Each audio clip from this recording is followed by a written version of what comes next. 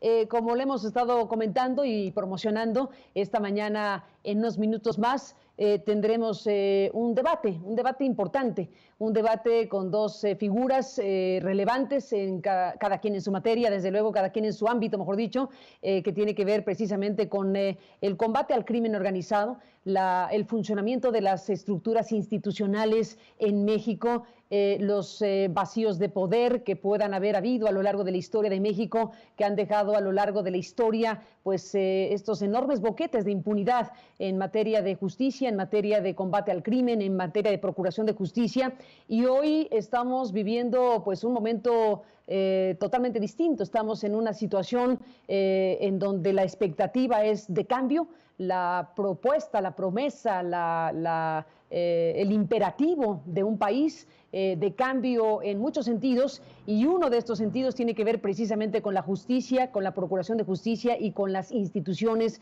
eh, en este país eh, de justicia. Y aquí se dio la oportunidad que hemos logrado concretar con este debate que tendrá lugar eh, en unos minutos más en este espacio, un debate que se da eh, vía telefónica. El doctor Alejandro Gertz Manero nos solicitó que el debate fuera eh, vía telefónica. El doctor Edgardo Buscaglia aceptó la condición de que fuera este debate vía telefónica. Será un debate suficientemente amplio, así que lo invito a que escuchemos y veamos y estemos pendientes de lo que significa la presencia de estos dos personajes en este programa, discutiendo y analizando los grandes temas en esta materia, además en un contexto especialmente importante, un contexto, como digo, donde la expectativa es muy grande. Eh, tenemos por primera vez en la historia de México una Fiscalía General de la República Autónoma. Tenemos por lo pronto eh, asuntos de altísimo impacto eh, que desde luego con la nueva situación ofrecen nuevas posibilidades de que se abran procesos judiciales trascendentes.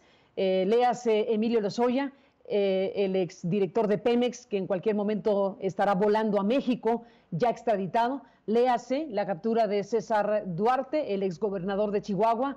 Léase la nueva circunstancia que se está viviendo con el caso Ayotzinapa. Léase con varios de los puntos que están aquí a la mesa. Y bueno, lo que tenemos aquí es eh, a dos personas eh, de responsabilidades importantes que nos han permitido la posibilidad de este debate. Eh, adelanto la presentación para que a las nueve de la mañana, más o menos, cuando estemos ya de regreso con eh, los dos eh, participantes, adelanto por lo pronto los perfiles de ambos. Estamos hablando del doctor Alejandro Gersmanero. El doctor Gersmanero, pues, es el primer fiscal autónomo de la República es el primer fiscal general de la República con una larga trayectoria en el sector público, una larga trayectoria en el sector académico, también ha sido un importante académico el doctor Hertz, eh, fue secretario de Seguridad Pública del gobierno de la Ciudad de México. Hay que recordar, en el primer gobierno electo de la capital de la República Mexicana en tiempos de Cuauhtémoc Cárdenas, también fue el eh, primer eh, secretario de Seguridad Pública del gobierno federal en la primera alternancia política del país. El doctor Gertz también estuvo ahí en esta responsabilidad de alto nivel.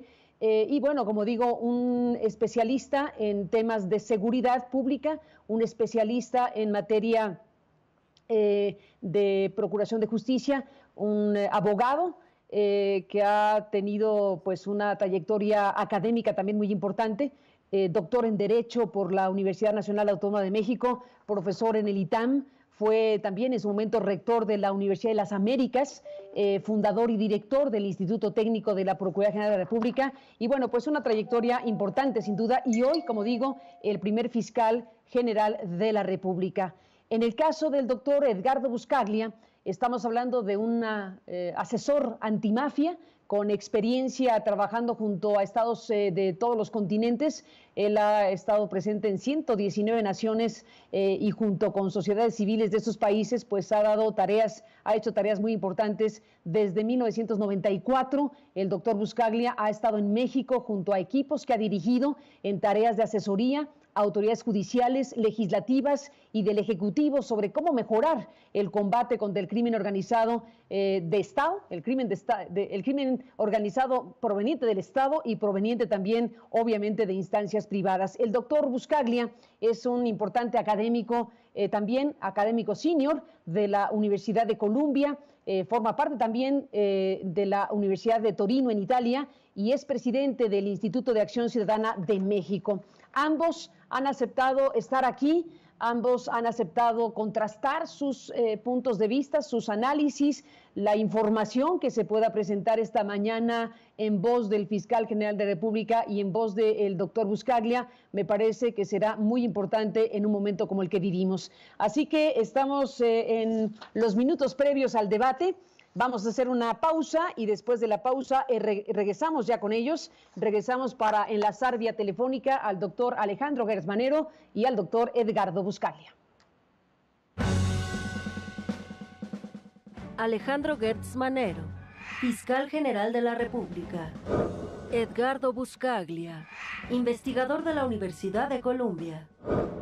Para que el sistema judicial comience a reaccionar ante las denuncias del doctor Nieto, que son más de 100 denuncias con políticos involucrados, empresas involucradas, eh, jueces involucrados que no están avanzando con Hertzmanero porque el sistema de Hertzmanero, como dijo el presidente de la República Mexicana ayer, el sistema judicial es incompetente, ineficiente, creo que dijo, y hay corrupción. Si vemos los números de esas denuncias y de lo que ha ocurrido con, los congelamientos de las cuentas y de los amparos que ha perdido y de cómo presentan unas denuncias que no están suficientemente establecidas todas las premisas que tiene obligación de entregar, ahí hay una descalificación absolutamente injusta. Y si quieres, lo tratamos cuando tú quieras para demostrar que lo que está diciendo no se apega a la verdad. El debate. Viernes 10 de julio, 9 de la mañana, tiempo del centro. Por www.aristeguinoticias.com. Pues hemos llegado a este debate esta mañana de viernes 10 eh, de julio 2020 Estamos en este momento iniciando este pues eh, importante ejercicio democrático. Al final de cuentas hay que destacarlo como esto, dos personas que deciden eh, hablar, dos personas que deciden eh, contrastar sus puntos de vista, su información, su análisis de las cosas trascendentes, en este caso, para un país como México en materia de justicia, de investigaciones, de la propia tarea de la Fiscalía General de la República, que es una fiscalía pues nueva, es una fiscalía autónoma y bueno, pues de esto estaremos hablando con nuestros dos invitados esta mañana, a quienes aprecio muchísimo que estén aquí y que hayan aceptado pues este ejercicio. Eh, doctor Alejandro Gersmanero, fiscal general de la República, bienvenido al programa. Buenos días. Buenos días, Carmen, a tus órdenes. Gracias por estar aquí. Al doctor Edgardo Buscaglia, gracias doctor por estar aquí. Bienvenido. Buen día, Carmen. Saludos a la audiencia. Un placer estar con ustedes. Gracias a los dos por estar aquí. Y bueno, eh, hay que decir como preámbulo eh, que este debate pues se gestó a partir de dos entrevistas por separado que, eh, bueno, varias que hemos tenido y las aprecio siempre, en donde hemos escuchado voces críticas o muy críticas del doctor Edgardo Buscaglia respecto a las tareas de la Fiscalía General de República. Hemos escuchado la respuesta que en su momento dio el doctor Hertz en entrevista que sostuvimos con él hace unos días. Y bueno, pues la propuesta finalmente de que tengamos este ejercicio se da. Propongo, doctor Hertz, eh, doctor Buscaglia, que iniciemos con el doctor Buscaglia en esta primera parte de la presentación. Tendrá cada uno, de, cada uno eh, espacios de cinco minutos o hasta de cinco minutos. Les proponemos incluso, para que esto sea lo más equitativo posible, eh, que tendremos un pequeño sonido muy breve, muy, muy útil, para que cada uno pueda identificar cuando le queden 30 segundos aproximadamente de su intervención y podamos ir organizando en bloques de cinco minutos cada uno aproximadamente este ejercicio. Así que propongo que sea el doctor Buscaglia quien ha hecho el ejercicio de la crítica a la Fiscalía General de la República, pues que exponga esencialmente los puntos eh, que ha ya dicho en otras intervenciones en este mismo programa. Doctor Buscaglia, iniciamos contigo esta intervención. ¿Me permites este, una palabra? Seguro que sí, doctor. A ver, mira, eh, vamos a, recuperar el origen de esta reunión. Eh, la semana pasada, cuando eh, tú y yo estábamos platicando de algunos asuntos que eran de interés para el público, te pedí la oportunidad de, de, tratarte un asunto de orden personal. Y ese asunto de orden personal era la serie de, de calificaciones y descalificaciones que el doctor Buscaglia ha hecho durante casi un año y medio en la cual eh, él me ha eh, adjetivado de una manera que yo considero que es injusta, haciendo una, una confrontación con, la, con el trabajo que hace el señor Nieto, que es un funcionario de la Secretaría de Hacienda. Así es de que yo creo que si a ustedes les parece, podríamos comenzar con esto y luego tratamos los temas que ustedes quieran. Yo estoy a su disposición. pero es por el orden mismo de lo que generó esta reunión. Pero, me parece muy bien. Eh, a mí, no a mí me doctor Buscaglia. Sí. Mira, eh, todas las críticas, y le agradezco eh, infinitamente al doctor Hertzmanero que se haya prestado a este ejercicio democrático en un país donde la cultura política proviene del autoritarismo, del partido único de Estado, y creo que no existen precedentes de que una persona privada sin poder, como yo, esté debatiendo con una persona con mucho poder, eh, como el doctor Hertzmanero, con 20 mil funcionarios detrás de él. Es muy meritorio que el doctor Hertzmanero se haya prestado a esto.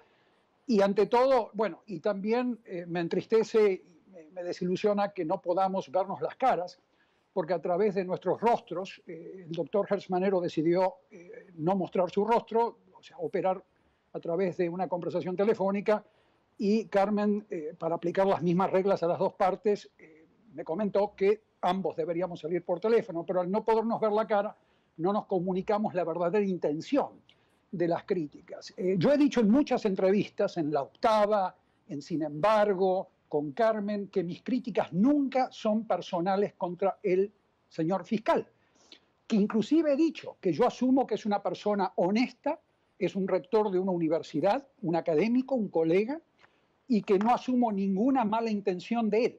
Mi crítica ha sido siempre contra el desempeño que ha puesto a la Fiscalía General de la República en una situación de que es un cero a la izquierda. Y el titular de la institución es el doctor Hasmanero. Si fuese eh, eh, Carmen Aristegui, criticaría de igual manera a Carmen Aristegui. Pero es él. Entonces, es una crítica institucional y se la voy a explicar muy rápido. Yo tengo un sistema, nosotros tenemos equipos en muchos países que estamos monitoreando el desempeño de esos países en el combate a la delincuencia organizada. Y tenemos indicadores de alerta roja, alerta temprana. Y en el año 2019, lamentablemente, nos encontramos con que eh, los indicadores de cantidades de dinero aseguradas por la Fiscalía General de la República colapsaron. Pasaron de ser 312 millones de pesos en el 2018 y colapsaron a la mitad, a 123 millones de pesos en el 2019. Eso es un indicador de alerta temprana que hay un problema. ¿Por qué se está asegurando la mitad en un país donde la delincuencia organizada está aumentando exponencialmente y causando ríos adicionales de sangre que se le agregan a los ríos de sangre de Calderón, de Peña Nieto eh, y de Fox, en donde el doctor Hertzmanero estuvo trabajando con el presidente Fox en donde entonces eso inmediatamente nos focaliza en los siete países que tuvieron esta misma experiencia en el 2019 de colapsar en sus aseguramientos y nos preguntamos cuál es la causa. Al mismo tiempo veíamos que la UIF pasaba de eh, bloquear 70 eh, millones de pesos en el 2018 a 3.944 millones de pesos en el 2019. O sea, tenemos un aumento enorme en los, en los, bloqueos que son 30 veces más que, los que las cantidades aseguradas por la Fiscalía General de la República.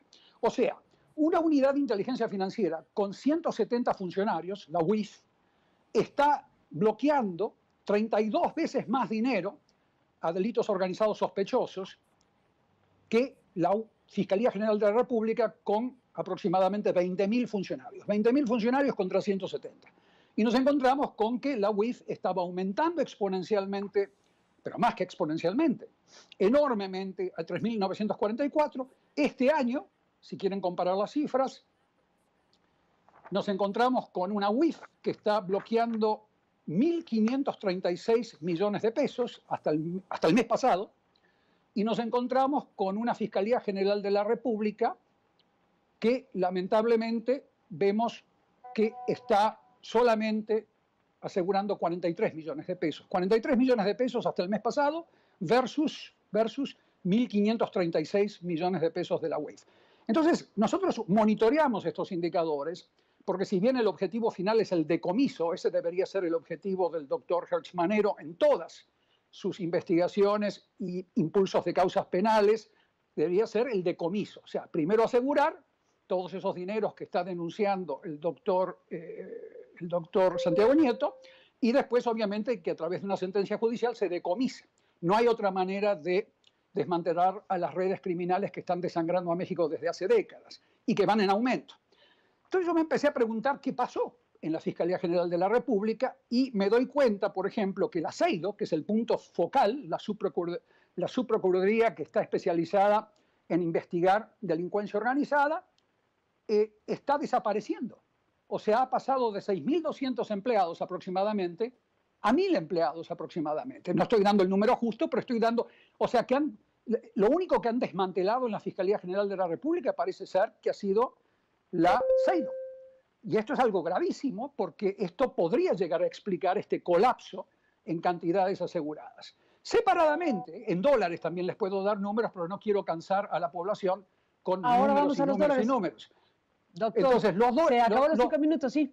Bueno, no, no, adelante, adelante. Podemos, yo quiero respetar los tiempos porque si no empezamos a violar Tratemos las de... reglas y no quiero. Vamos Dale, a dale. escuchar al doctor Gertz Manero. A ver, doctor Alejandro Gertz Manero, ¿qué nos dice? A ver, primero, vamos a establecer con toda precisión cuál es la función de cada una de esas dos instituciones.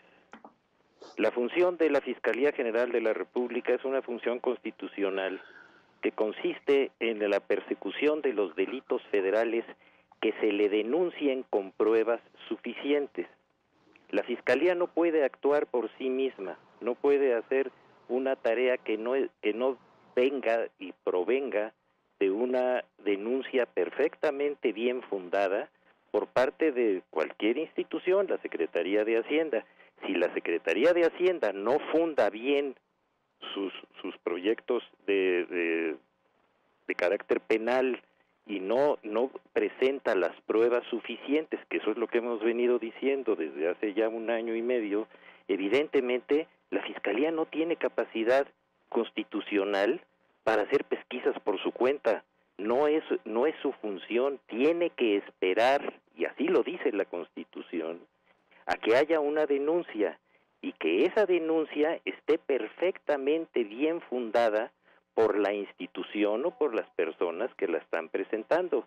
Si esas denuncias no son más que declaraciones de carácter publicitario, que no tienen todas las pruebas que se les han pedido que las den y no las dan, pues entonces evidentemente el que tiene el- la responsabilidad de desarrollar esa tarea no la ha cumplido. Y déjame decirte, Carmen, tú lo has vivido en un asunto en que tú te has dedicado a defender a un grupo de periodistas.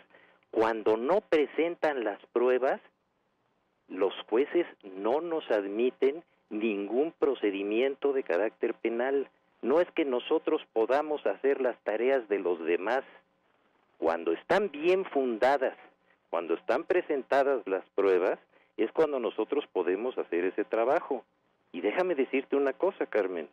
Cuando una institución está quebrantando lo que las propias, eh, eh, sobre todo en este caso el, el, la, eh, la Suprema Corte de Justicia, que ha señalado con toda claridad que la, que la unidad de, investigación financiera a la que se refiere el señor Buscaglia está incumpliendo con las normas constitucionales y está haciendo ese tipo de aseguramientos.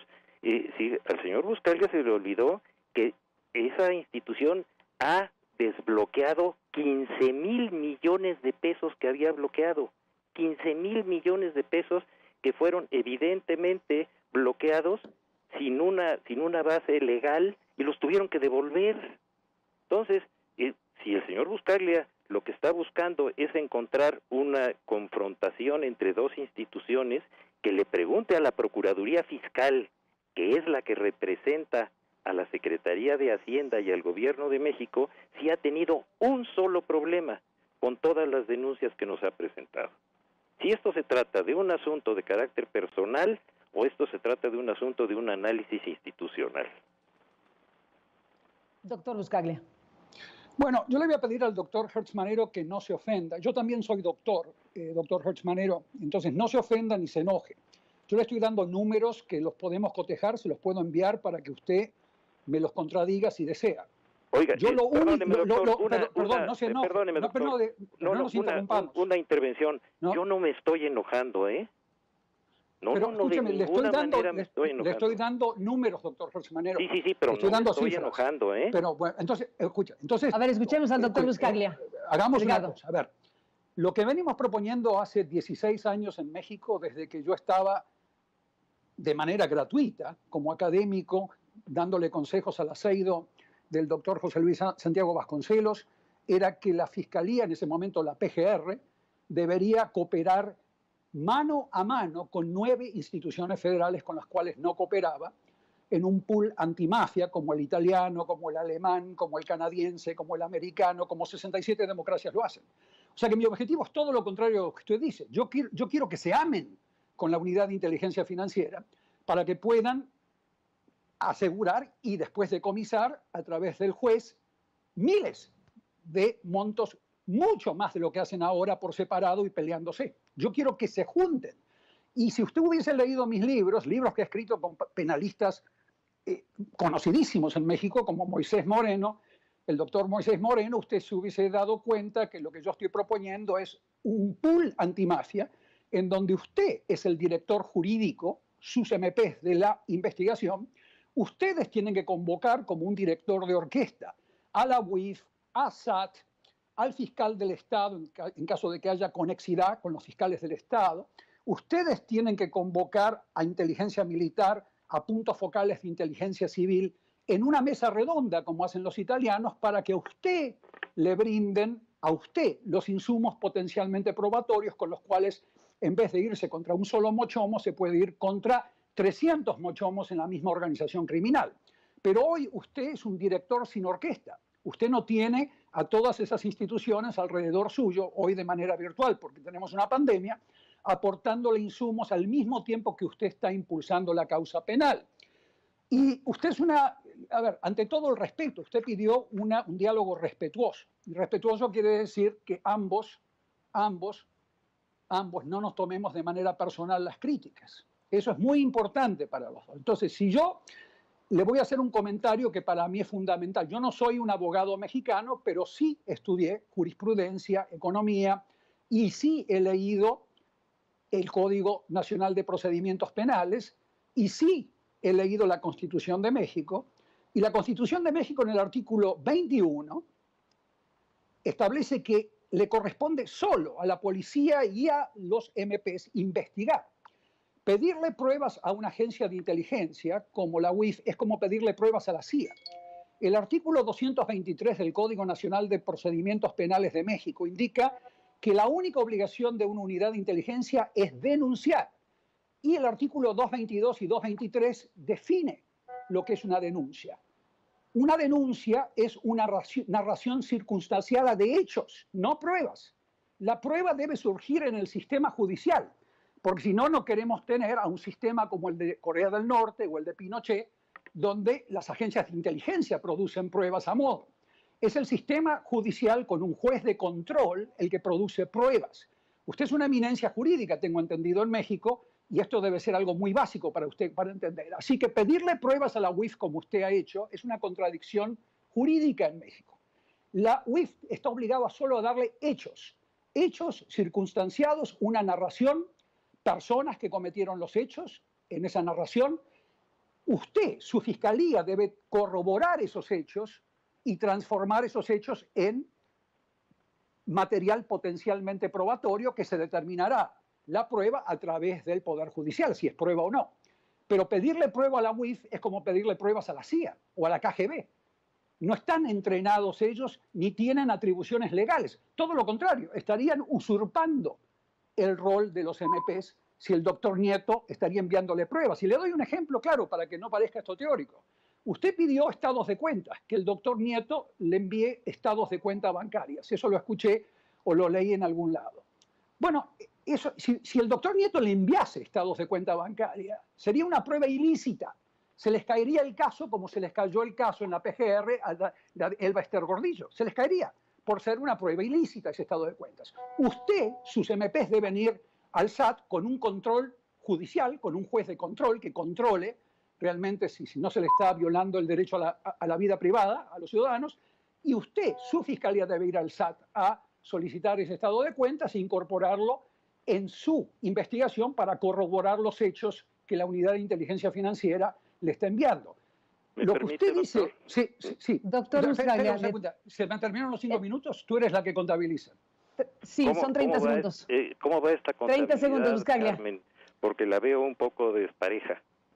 No, no, no, va cinco minutos cada quien. Vamos contando, doctor. ¿Está segura? Yo no creo. Pero en fin, mira, déjeme decirle, doctor, no, no se vaya usted tampoco a enojar, ¿eh? Por favor. Esto no es para enojarse. Eh, con todo respeto, usted está equivocado. Déjeme decirle por qué. Porque la UIF es una unidad de la Secretaría de Hacienda y Crédito Público. Y si la Secretaría de Hacienda y Crédito Público no me entrega las pruebas que yo no puedo de ninguna, de otra manera presentar ante un juez, yo no las puedo obtener. ¿Por qué razón? Porque la única que tiene por ley la capacidad de hacer investigaciones de carácter fiscal, es decir, por impuestos, por lavado de dinero, son las unidades técnicas de la propia Secretaría de Hacienda, entre ellas la UIF. Entonces, si la UIF me presenta una denuncia sin pruebas para que yo regrese a la Secretaría de Hacienda a que me dé las pruebas que no me dio la propia Secretaría de Hacienda, perdóneme doctor, pero eso, es lo, exactamente el problema que nos pasa y eso es lo que le hemos pedido en todas las formas a esa unidad de investigación para que haga su trabajo en forma, como usted lo está planteando, unitaria, para que así el SAT, la Comisión Nacional Bancaria, la Procuraduría Fiscal le alleguen a una institución que no puede hacer esas investigaciones porque los únicos que la pueden hacer son los miembros de la Secretaría de Hacienda. Así es de que, por favor, doctor, las personas que lo están a usted asesorando en materia de derecho penal, que le expliquen a usted lo que dice el artículo 215 de la, de la propia eh, ley eh, de carácter procesal que dice que cuando una persona presenta una denuncia tiene que presentar las pruebas que contenga y no las tiene que andar presentando en los medios. No se trata de hacer escándalos mediáticos, se trata de dar resultados de orden jurídico. Y usted me dice que yo tengo que obtener de, los de, las, de un juez de control lo que la, la propia Secretaría de Hacienda me tendría que entregar como elementos para probar un delito y que no me los entrega. ¿Cómo lo voy a hacer? ¿Cómo lo va a hacer la Procuraduría? ¿Cómo lo, perdón, la Fiscalía? Si no tiene facultades para hacerlo y cuando lo hace el juez de control le va a retirar el apoyo. Por favor, doctor. No, no, no, con todo respeto. Hay que decir las cosas exactamente como son. Nosotros, ¿qué más quisieron? Déjeme decirle una cosa, doctor Buscalia, para que vea la buena fe de la institución y lo que nos ha pasado. Lo primero que hice cuando llegué fue llamar al doctor eh, Nieto y decirle, mire, necesitamos trabajar juntos. Nombre usted a las personas que usted considere que son capaces dentro de la Fiscalía en el tiempo que usted estuvo para que se forme una unidad de apoyo para usted. Eso le dije él buscó a esas personas, esas personas estuvieron trabajando más de un año y presentaron un solo asunto, uno. Así es de que no hay divorcio de ninguna naturaleza, hay buena fe, hay ganas de trabajar juntos, hay ganas de cumplir con nuestras obligaciones. No nos no estamos haciendo propaganda personal para nadie, ni creemos que debamos de descalificar a las instituciones del gobierno. Se le ha dado todos los apoyos y si no ha avanzado más es que no ha habido pruebas y, y, la, y nosotros no podemos hacer pesquisas, están prohibidas por la Constitución. La Fiscalía es un órgano del Estado, no es un órgano del gobierno. Tiene que obtener del gobierno todas las pruebas que el gobierno tenga. Cualquier, y eso lo sabe hasta el último de los abogados que se dedican a esto, cualquier asunto de tema fiscal, de delitos de carácter fiscal, tienen que venir avalados por la Procuraduría Fiscal, por el SAT, por la Comisión Nacional Bancaria y por esa unidad. ¿Por qué no trabajan juntos? Usted mismo lo está planteando y resulta que todos los días, y, eso lo puede usted consultar con la Procuraduría Fiscal, todos los días la Procuraduría Fiscal ha dicho hasta el cansancio lo bien que trabaja con la Fiscalía, que no han tenido un solo problema, que todos los asuntos que han llevado con nosotros han salido adelante. Y resulta entonces algo esquizofrénico. En la misma Secretaría, donde trabajan dos unidades distintas, una manifiesta su apoyo permanente y la otra, eh, en, boca de usted, nos descalifica. Óigame, por favor. Doctor Buscaglia, eh, una réplica. Eh, doctor, doctor Hertzmanero, yo no soy un funcionario público mexicano, no puedo hablar en nombre de la UIF. Estamos observando indicadores en 119 países. No, señor, perdóneme usted, usted ha hablado y lo ha dicho como asesor del señor Nieto y en favor del eh, señor Nieto. Así es de que vamos a poner las cosas en su lugar. Digo, nosotros asesoramos, nosotros asesoramos a todas las personas que nos invitan a asesorarlos de forma gratuita, en muchos casos como José Solís Santiago Vasconcelos en la PGR durante muchos años, donde aplicamos instrumentos, instrumentos de desmantelamiento de redes criminales que hoy no están aplicando en la Fiscalía General de la República. Y le voy a mencionar, por ejemplo, el instrumento llamado Falcone Checklist, que era una serie de puntos... Perdón, no le bien, y discúlpeme, ¿cuál, eh, eh, nombre dio usted? Eh, era un instrumento, señor, el instrumento que nosotros le ayudamos a la PGR a aplicar desde el 2004 al 2008, cuando falleció en el accidente aéreo el doctor San Luis, José Luis Santiago Vasconcelos, se llamaba la Falcone Checklist, que era una serie de... pero, pero, me deja terminar porque si no, no puedo hablar. Por supuesto, no. Déjeme terminar, déjeme terminar. adelante, adelante. tengo cinco minutos para hablar, si no... Sí. A ver, ese Falcone Checklist era un instrumento operativo, operativo para que todos los MPs, cada vez que se acercan a un mochomo, inmediatamente estén obligados a definir la estructura, organigrama organizacional que rodea al mochomo, que defina la logística operativa en los 23 tipos de delitos, por ejemplo, que cubre el cartel de Sinaloa, para que defina los ámbitos de tráfico, cuáles son los tráficos que rodean al Mochomo en toda su organización, el ámbito de corrupción política, políticos municipales, estatales, federales que puedan estar recibiendo dinero de campaña, la identidad, por supuesto, de los integrantes, de, los integrantes del Poder Judicial, empresarial y las tapaderas de sociedad civil que rodean al Mochomo. Eso lo hacía José Luis Santiago Vasconcelos desde el aceido. Eso se dejó de hacer.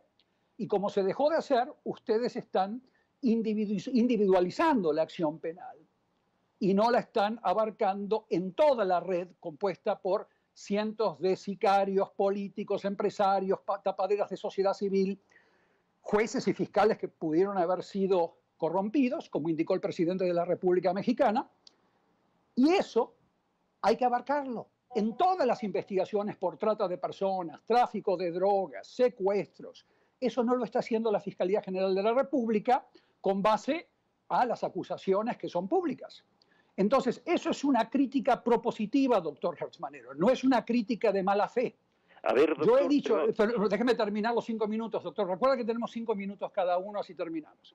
Entonces, si no hacen eso, si no, hace, si no hacen eso, obviamente, si no cubren la red criminal, después la cantidad de dinero que aseguran es paupérrima como los datos que le di al comienzo de esta entrevista. Entonces, lo que yo le estoy proponiendo es regresar a las técnicas de investigación del doctor José Luis Santiago Vasconcelos y del doctor Samuel González y de las personas que han hecho las cosas bien en México en el pasado en la CEIDO. Yo no me estoy refiriendo a las otras unidades, pero hay otra crítica importante, por ejemplo. Hay muchas causas por delincuencia organizada que no están siendo tipificadas como tales y quedan en las fiscalías especializadas que abordan los delitos contra periodistas, por ejemplo. El caso de Lidia Cacho. Está claramente establecido por Lidia Cacho con videos y con pruebas, como a usted le gusta, que no son pruebas realmente, son hechos, porque un ciudadano o la UIF no puede denunciar pruebas. La prueba surge del proceso judicial, no surge de un denunciante. eso, está definido, eso está definido en el Código Nacional de Procedimientos Penales que define, escúcheme, que define lo que es una denuncia. Si la gente va al, artículo 223 del Código Nacional de Procedimientos Penales, no de China, de México, ahí va a encontrar usted que en la definición de una denuncia no existe la palabra prueba. Son hechos, hechos circunstanciados y las personas que supuestamente el testigo observó relacionados al hecho. No, la prueba surge de ustedes. Ustedes tienen que generar la prueba. Y, y, otra cosa más importante. En seis o siete entrevistas yo he dicho que usted como fiscal tiene buena voluntad, que es honesto como persona, pero que no es capaz de hacer lo que yo estoy proponiendo hasta ahora. Entonces, yo estoy proponiendo, doctor Hertzmanero, salidas como esta que le acabo de mencionar con la Falcone Checklist que ha sido implementada en la Procuraduría General de la República. Yo no soy un turista académico que llega a criticar y me voy de México. Intento trabajar con todas las autoridades que me llaman.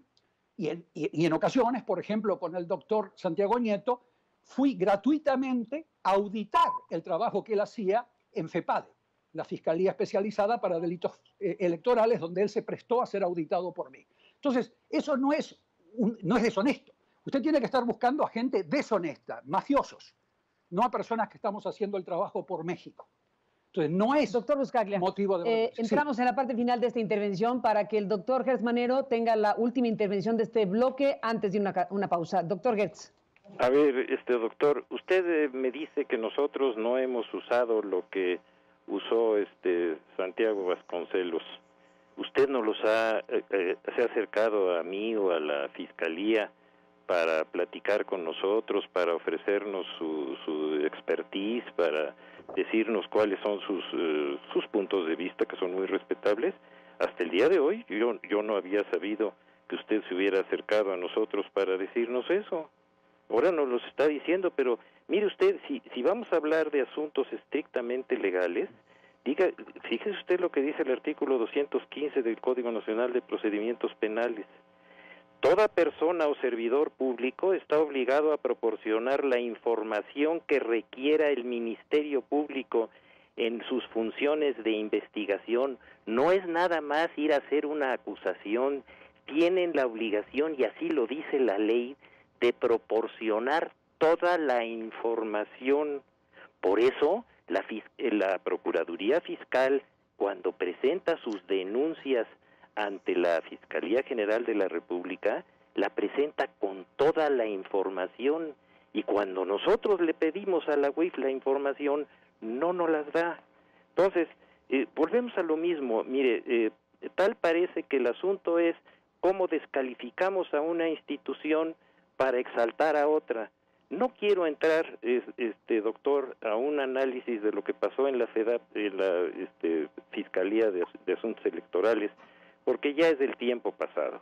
Lo único que le digo a usted es que si usted tiene esas propuestas, esas propuestas se tienen que constatar eh, con el marco legal que nos obliga. Nosotros no podemos, no podemos obtener pruebas que solamente la Secretaría de Hacienda puede eh, tener, solamente el SAT tiene acceso a los sistemas fiscales, a las declaraciones fiscales, solamente la Procuraduría Fiscal tiene la capacidad de análisis para entregar toda esa información. Entonces, si la UIF me hace una denuncia para que yo tenga que regresar a la Secretaría de Hacienda y, la Secretaría de Hacienda tiene muchísimos mucho trabajo que hacer y no me lo da, entonces resulta que el que tiene la culpa no es el, el que está buscando la solución, sino el que no el, el, el que eh, tiene que hacer algo que no era su, su obligación.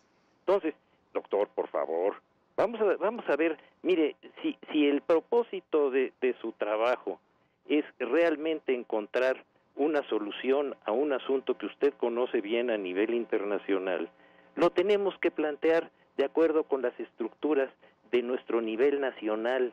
La, la, investigación para la prevención del delito, que es de lo que usted está hablando, no le corresponde a la Fiscalía, que es un órgano autónomo que solamente puede hacer una sola cosa, recibir denuncias con todas las pruebas que tienen obligación de, entregarla a quienes están haciendo una, una, una denuncia de tipo oficial, ir al juicio y ganar lo que es lo que hemos hecho. Nosotros no podemos hacer tareas de investigación para la prevención del delito, que es lo que usted me está hablando no lo permite la ley mexicana. La ley mexicana, después de un debate de muchísimos años, sacó a la Procuraduría de ser un órgano del gobierno y un, y un empleado del presidente a ser un órgano autónomo que es electo, no es nombrado, es electo por el Senado de la República y que tiene funciones de ser abogado del Estado, no abogado del gobierno. Y esa es su función. Y déjeme usted decirle una cosa para que, para que también constatemos las cifras. A partir del momento en que nosotros iniciamos esta nueva fiscalía el año pasado, todos los delitos federales, sin excepción, han ido a la baja. La capacidad que tiene en este momento la fiscalía por el número de sentencias favorables que tiene es verdaderamente de, otro nivel del que había habido en toda la historia de esa institución. Nosotros en los últimos tres meses no hemos perdido un solo asunto en sentencia definitiva. Eh, tenemos un sistema de control en todas las delegaciones del país para ver la calidad del servicio que damos y ha, subido de una manera verdaderamente excepcional, pero no nos estamos dedicando a hacer culto a la personalidad y a decir si el fiscal es o no es capaz. ¿Por qué? Porque no es un trabajo del fiscal, es como usted lo dijo al principio, es el trabajo de 25 mil personas que han cambiado muchos de sus procedimientos para hacer algo bien hecho y que a esas personas las estemos descalificando me parece un acto muy injusto porque en lugar de ayudar a hacer una tarea estamos lo único que estamos generando es la descalificación de una persona en favor de la calificación de otra. Por favor, doctor, yo creo que debemos de ser en ese sentido muy equilibrados para poder realmente llegar a una solución que, como usted bien dice, debe de ser en favor del país, no de la carrera de ninguna persona. Doctor, eh, doctor Hartzmanera, volvemos. rapidito, 30 segundos, doctor Doctor Hartzmanero, yo le doy mi palabra que en los países que desean ser una democracia con Estado de Derecho, como yo asumo que usted quiere para México, la crítica propositiva como la mía nunca es descalificación, no hay mala intención. Y es por eso que me ofrezco gratuitamente, gratuitamente, sin contrato, ayudarlos a aplicar un un programa, un protocolo operativo para que puedan trabajar ustedes con nueve instituciones federales en tiempo real con ustedes, Fiscalía, como directores de la investigación, directores jurídicos de la investigación. Y así usted va a ver que aplicando, déjeme terminar, aplicando este pool antimafia, que lo han aplicado 67 democracias, ustedes van a lograr esa coordinación que usted y yo tanto anhelamos. Gratis, yo le propongo llevarle un, un protocolo operativo paso a paso de cómo operar con nueve instituciones federales con las cuales ustedes no están coordinando adecuadamente hoy, por, no por mala voluntad, sino que nunca se ha hecho adecuadamente, salvo en ese periodo de José Luis Santiago Vasconcelos y de Samuel González, que venían un poco con la educación italiana del pool antimafia. Entonces, eso dice? gratuitamente. Acá esto no es una venta de consultoría, gratuito. Cuando le presentamos ese, ese protocolo, constructivamente, como yo lo vengo haciendo en muchos países, y a partir de ahí usted decida si lo quiere implementar con su institución. Pero le aseguro que si hacen eso y trabajan con las sinergias de nueve instituciones que al mismo tiempo a usted le aportan hechos, porque el artículo del código que usted leyó no dice la palabra prueba, dice información. La UIF aporta información sobre hechos y personas que cometieron los hechos, en una narración circunstanciada, dice el, artículo 223. No habla de que la UIF debe presentar pruebas. Espero que este debate lo podamos seguir con un café, cara a cara, porque me da mucha tristeza que no nos podamos ver la cara, para poder de alguna manera entender que acá no hay mala voluntad. Simplemente estamos tratando de ayudar. Para al corte, doctor Mire, doctor, eh, déjeme decirle, eh, eh, Samuel es un es un abogado por el que yo tengo mucho respeto, lo conozco de hace muchos años y es un agente de buena fe que ha trabajado en la institución de una manera ejemplar. Así es de que eh, yo yo creo que a través de él podemos llegar a una, ¿cómo le diría? Un diálogo que sea útil y que no sean estas descalificaciones y estas este pues se lo digo con todo respeto, pues eh, faltas de, consideración a, la institución y a mi persona. Yo creo que se puede se puede hacer, como usted mismo lo, está planteando, una una participación que tenga un objeto realmente positivo y que no, no se, no se eh, desvíe en asuntos de carácter personal ni en intereses personales de, nadie. Entonces, eh, Samuel es un, es un buen abogado. Yo, yo con mucho gusto acepto la, la oferta que usted me hace. Eh, yo los voy a convocar a ustedes, vamos a platicar y creo que esta, esta plática también ha sido muy útil para que cada uno exprese su punto de vista, que le repito, desde que llegué le di todas las facilidades a esa institución y eso tengo decenas de testigos. Desde que llegué he trabajado pero en absoluta armonía con la Secretaría de Hacienda, sin ningún problema de ninguna naturaleza. Pero usted me está escuchando, doctor Hertz. He dicho que no es un tema de que usted no tenga buena voluntad. Nadie cuestionó eso. Estoy hablando del desempeño institucional que usted lidera. Usted es el responsable. De ese, espéreme tantito, ahora sí déjeme hablar. De ese desempeño constitucional y de ese desempeño legal y de esos datos, que no los digo yo, no, no, no, ni los dicen instituciones ajenas a nosotros, lo señala el Sistema Nacional de Seguridad. Es decir, la, la reducción de los delitos federales ha sido verdaderamente notable en, la, en, en, el, en todo el país.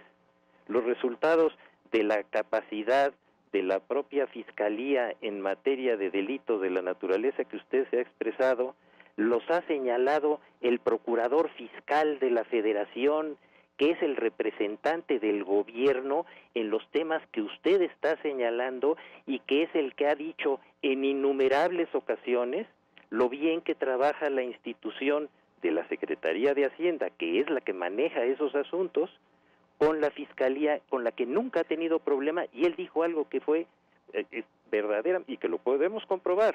Estamos en tiempo prestado, doctor Hertz. Nos tienen Estamos en tiempo prestado. Déjenme los dos, déjenme los dos para recuperar este, este equilibrio de tiempos, más o menos en lo que se puede con un debate. A los dos, gracias por estar de nuevo aquí. Permítanme hacer una pausa y volvemos y retomamos el hilo, doctor Manero, doctor Buscaglia. Bueno, regresamos esta mañana agradeciendo de nuevo al doctor Gertz Manero y al doctor Buscaglia esta presencia suya. Y bueno, ya los escuchamos ampliamente con mucho interés eh, lo que han planteado uno y el otro. Y bueno, pues eh, propongo, doctores, eh, a partir de este momento también creo que es importante para el público poder hablar en la medida de lo que al doctor Gertz le permita la propia ley de los asuntos específicos que hoy están siendo parte de esta realidad mexicana. Están siendo parte de una, y lo hemos platicado, doctor Gertz, están siendo parte de una expectativa muy grande del trabajo de la Fiscalía, del trabajo de la justicia, de todo lo que muchos eh, quisiéramos que ocurra en México en materia de abatir a la impunidad y todos los elementos que desde luego harán de este país un país diferente. Y eso ocurrirá, pues, si las cosas que corresponden a las, eh, instituciones eh, se procesan como esperamos van a ser procesadas en los próximos años, porque esto será un tema de años. cosas, doctor Gertz, doctor Buscaglia, que están aquí a flor de piel. Estamos a punto de recibir en México eh, extraditado al señor Emilio Lozoya, el eh, ex eh, director de Pemex. estamos con la carta que le envió al doctor Hertz de que colabora con la justicia. Estamos eh, conociendo la información de que detuvieron a un exgobernador, eh, figura clave de las historias del sexenio pasado, que es César Duarte. Estamos siguiendo de cerca, con enorme interés, el caso Ayotzinapa, por supuesto. Eh, estamos siguiendo de cerca varios temas de gran impacto para la sociedad mexicana. yo quisiera y les propongo escuchar lo que cada uno de ustedes pueda decir respecto a la realidad mexicana con estos y otros casos, eh, pues eh, viendo que otras naciones han vivido fenómenos de maxiproceso, de fenómenos que se investigan en red y que acaban siendo procesos de enorme importancia para las naciones porque acaban mostrando crudamente los procesos de corrupción, de delincuencia organizada, tanto del Estado como las privadas, etcétera. Propongo, doctor Buscaglia, una reflexión inicial en este bloque y escucharemos al doctor Goetz en un segundo momento. Bueno, eh, nuevamente la idea es mostrarle datos jurimétricos al, doctor Hertzmanero para que no piense que estas son opiniones subjetivas, con la idea, con la idea, con la idea siempre en mente y como objetivo de que se forme ese pool antimafia con la UIF, con inteligencia militar, con un punto focal de inteligencia militar, inteligencia civil, SAT, aduanas, las instituciones eh, de, la entidad federativa en el caso de que exista conexidad entre el fuero común y el fuero federal para que avancen estas investigaciones del aceido de la manera que avanzan en Italia, en Alemania, en Canadá, en Estados Unidos, Estados Unidos con su ley RICO, su ley contra la delincuencia organizada, en donde el aceido en, el 2019 abrió, tenía 2.799 carpetas, el aceido y solo judicializó 182, un 6.5% de las carpetas de investigación. La CEIDO hasta el mes pasado tenía 2.719 carpetas de investigación en el 2020 hasta ahora y solo judicializa 62 casos.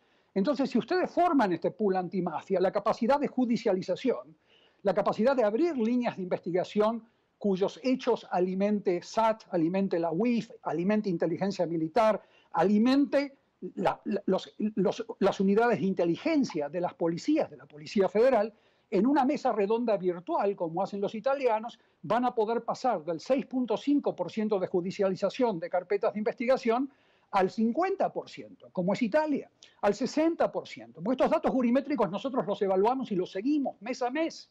Entonces, es algo que a mí me desespera a veces y porque me siento a veces que eh, yo estoy muy contento de que el de que el fiscal general esté dispuesto a dialogar sin intermediarios.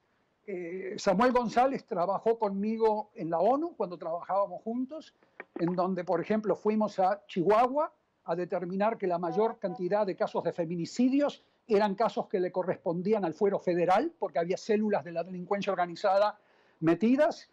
Hacíamos una evaluación de la investigación y del impulso de la causa penal, de las resoluciones de MPs y de jueces, y a partir de ahí, con el doctor Carlos Castresana, un juez español, avanzábamos en recomendaciones en donde a mí me llama la atención, por ejemplo, que ahora los feminicidios en México se asuma que pertenecen al fuero común, cuando nosotros encontrábamos en Chihuahua que más del 60% de los feminicidios había células de la delincuencia organizada del cartel de Juárez metidas atrás. Eso lo evaluamos judicialmente con Samuel González, lo evaluamos judicialmente con Carlos Castresana. Entonces, hay premisas que yo estoy desafiando, no descalificando. Solo en los países autoritarios a la crítica se le llama descalificación. En los países democráticos, como es el caso del presidente López Obrador y su gobierno, la crítica es una crítica cuando viene acompañada de números. ¿Puedo equivocarme? Por supuesto que me puedo equivocar. Puede ser que mis números no sean los números del doctor Hertzmanero. Puede ser. Pero yo le estoy dando números, como ahora, del aceido. Entonces, hay que marchar hacia las mejores prácticas de esos países que mencionaba eh, Carmen Aristegui. Por ejemplo, la Fiscalía General de la República hoy no está aplicando las técnicas de investigación que están contempladas y plasmadas en la Convención de las Naciones Unidas contra la Delincuencia Organizada, que fue solemnemente ratificada por México como país soberano. Ahí hay técnicas de investigación importantísimas para poder conocer el organigrama de la organización criminal. Por ejemplo, operaciones encubiertas que no se están realizando a través de la Fiscalía General de la República, uso de testigos colaboradores, otorgamiento de recompensas a la población por las denuncias, cosa que no se está haciendo adecuadamente. Vigilancia electrónica, no solamente intervenciones telefónicas al estilo de los años 70, sino vigilancia electrónica de lo que se llama el Deep Web, Dark Web. El Dark Web es el Internet oscuro, que no puede ser accedido a través de Google o de Yahoo, es accedido a través de aplicaciones que criminales, delincuentes están utilizando para realizar transacciones involucrando a medicinas falsificadas que es un delito que está matando a cientos de miles de mexicanos y que no está contemplado en el plan de persecución penal del doctor Hertzmanero y de su institución. Eh, eh, las medicinas falsificadas, el tráfico de medicinas falsificadas y substándar es una epidemia en México.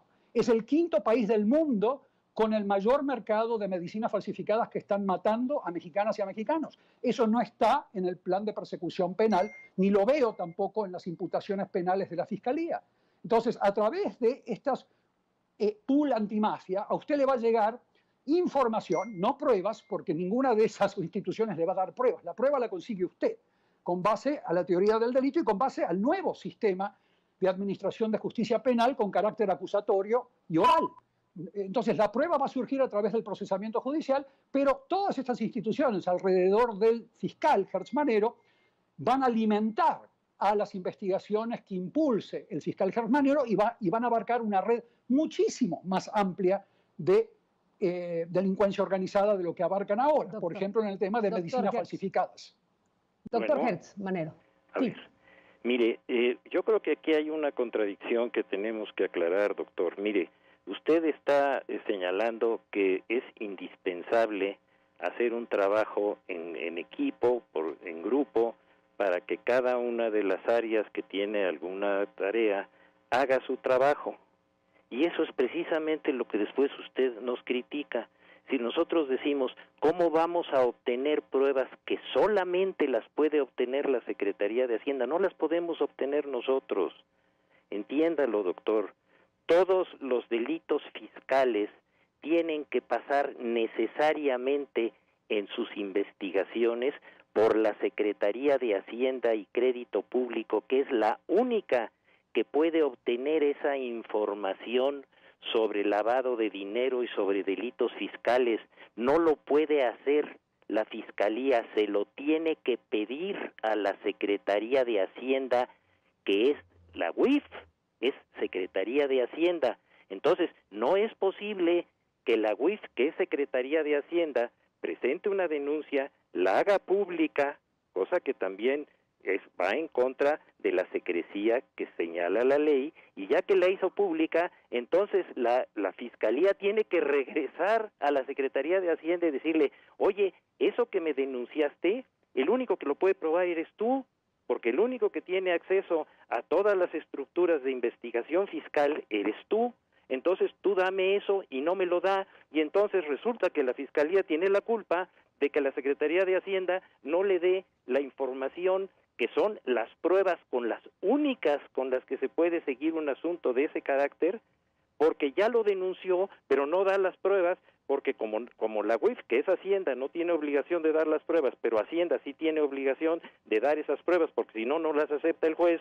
Por favor, doctor, digo, es, ese tipo de, de, de contradicciones no las podemos manejar y además usted está insistiendo en algo que va en contra de todo lo que la ley mexicana ha establecido. Ha establecido que la prevención del delito, que es de lo que usted está hablando, de saber cómo se está moviendo en la inteligencia para la prevención del delito, eso no es asunto de un fiscal porque no lo puede hacer legalmente a menos de que haya una denuncia por parte de quien tiene el conocimiento de lo que hizo. Nosotros no podemos hacer lo que usted está pidiendo porque y pregúnteselo a Samuel, por favor, porque la ley no nos los permite, nos permite única y exclusivamente hacer lo que nos denunciaron y obtener las pruebas que ellos nos dieron o que ellos nos pueden dar. Usted me dice, la UIF este, denuncia, usted busque las pruebas porque ella no tiene obligación de denunciar. Y entonces, ¿quién tiene obligación de dar las pruebas? La propia Secretaría de Hacienda. Y no me las da. Y entonces yo tengo la culpa de que el que denuncia que no da las pruebas sea el que finalmente diga que no se hacen las cosas. Hombre, por favor, ¿a qué, a qué nivel estamos llevando? Mire, doctor, lo que se trata es de resolver un problema. Lo que se trata es de encontrar una solución. Si lo que usted me está diciendo es que el sistema mexicano no trabaja de, de manera coordinada entre la prevención del delito que no le corresponde a la fiscalía y, y, lo que le corresponde al gobierno, eso es una eso es una premisa muy lógica que yo he sostenido siempre en el sentido de que lo que primero se tiene que resolver es la prevención del delito. Y para eso presenté un proyecto este legislativo que otra vez antes de que lo sacara yo, todo los, el escándalo mediático dijo que estaba yo presentando algo que ni siquiera yo había logrado ni presentar y que espero poderlo presentar ahora en septiembre. Doctor, vamos a aclarar estas cosas porque si no, seguimos dándole vueltas a lo mismo. No, no es que la, que la Fiscalía dé buenos o malos resultados en razón de su propia este, conducta. No, la Fiscalía da los resultados de las denuncias que, que, que vienen, en el caso que usted presenta, del propio gobierno, que es el que tiene los datos que la Fiscalía no los podría obtener de otra manera, no puede obtener esos datos. Entonces, o se los da la Secretaría de Hacienda o no hay manera de hacer los juicios. Entonces, no no podemos eh, salirnos de esa de esa de, de, ese, de ese círculo vicioso si no entendemos que una cosa es la prevención del delito y otra cosa es la persecución. Bueno, pero eh, doctor, ¿me corresponde a mí el tiempo ahora, Carmen? Corresponde, sí, corresponde. Ok, eh, doctor Hertzmanero, no lo metamos a Samuel como intermediario porque si no el, el, pobre va a decir y yo por qué. A ver, no, bueno, lo voy, no, eso, eso, lo dice él, lo digo yo. No, es un chiste, le estoy haciendo un chiste. A ver, yo se lo voy a decir en otras palabras con la mejor de las intenciones, a ver si se entiende mejor. Hasta yo, donde yo entiendo en las 67 democracias que nosotros le hacemos seguimiento con Estado de Derecho mínimo, mínimo, entre ellas México, eh, las diversas áreas que integran el gobierno, ¿no? aduanas, SAT, lo que usted menciona, inteligencia, inteligencia militar, etcétera, las diversas áreas que integran el gobierno de México son las encargadas de generar la información. Información. No dice pruebas, información. Ellos son los dueños de la información, como usted bien dice porque son quienes la generan. Eh, la UIF recopila esa información y la señala en una denuncia como hechos cuando ellos determinan en la UIF que esos hechos son compatibles con patrones de comportamiento de lavado de dinero que establece el Grupo de Acción Financiera Internacional que está ubicado en París, formado por muchos países, entre ellos México. Patrones operativos, acá no estamos hablando de leyes. Entonces la UIF dice, ah, este comportamiento, estos hechos, estas transacciones entre Juan y Pedro, y Pedro y esta empresa, se parecen mucho a lo que el Grupo de Acción Financiera Internacional nos dice que es un indicio de lavado de dinero. Entonces le envían la denuncia a usted, como establece el artículo 223 del Código de Procedimientos Penales, y usted después debe recabarla directamente con esas autoridades, con un juez de control, y eso incluye actas constitutivas, la Secretaría de Economía, facturas del SAT, escrituras de inmuebles, del registro público de la propiedad, estados de cuenta de la Comisión Nacional Bancaria, creo que se llama en México. Entonces, eso lo tiene que hacer sus MPs ya, ya con todas esas instituciones, WIF, SAT, aduanas, fiscal estatal si hay conexidad, alrededor suyo. Usted es el director de la orquesta en ese pool antimafia. Usted, doctor Hertzmanero, usted. Pero hoy es un director sin orquesta, porque no tiene a esas instituciones en tiempo real dándole toda esa información, que, insisto, no constituye prueba. Esto es un desacuerdo que sí me gustaría tener un debate con usted en una escuela de derecho alguna vez, eh, si es posible, porque esto es un, yo creo que esto es un tema muy importante. Porque en todas las democracias con Estado de Derecho, las agencias de inteligencia no pueden producir prueba para evitar los abusos de Pinochet o de Maduro en Venezuela donde agencias de inteligencia están fabricando pruebas sin control judicial. Las agencias de inteligencia le dicen a la Casa Blanca, por ejemplo, la CIA, tenemos una grabación e información de que tal terrorista va a colocar una bomba en Nueva York. El nombre del supuesto terrorista y el lugar. Ellos, inmediatamente la Casa Blanca le da participación al Departamento de Justicia para que el fiscal federal corrobore la información de inteligencia separadamente con un juez de control. Y a medida que avanzan con la investigación, se establecen los insumos potencialmente probatorios que se constituirán en prueba durante el procedimiento judicial a través de un juez. Entonces, la CIA no puede producir pruebas de que hay un terrorista eh, por, colocar una bomba.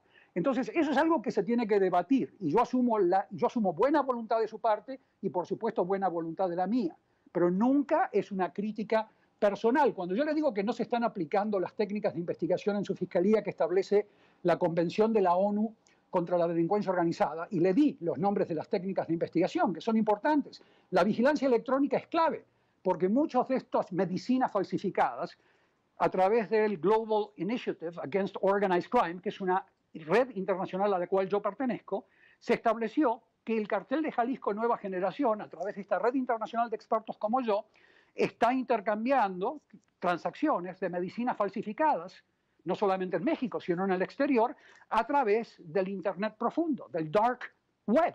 Entonces, eso es algo que ustedes no están interviniendo con sus técnicas de intervención, de, de, de las comunicaciones. La vigilancia electrónica no la están llevando adelante. El otorgamiento de recompensas, el uso de testigos colaborantes, operaciones encubiertas, entregas vigiladas, y si esas nueve instituciones federales más las estatales están a su lado, van a poder brindarle mucho más hechos con los cuales ustedes van a poder en la Fiscalía seguir muchísimas más líneas de investigación que van a abarcar no solo al Mochomo, sino a cientos de mochomos, políticos, jueces, fiscales corrompidos, empresas lavadoras que hoy no están abarcando en su red. Entonces es buena voluntad y este protocolo operativo que le vamos a hacer llegar, si usted lo dispone así, va a indicar cómo se hacen estas cosas para que las hagan mejor.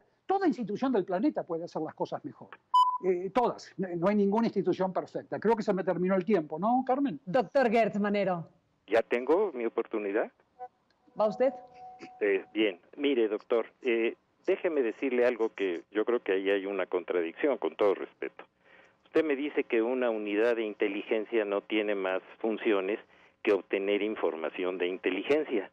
Entonces, ¿por qué hace funciones de autoridad y, y, congela cuentas y, y, genera este, conductas que ya la Suprema Corte dijo que son absolutamente anticonstitucionales?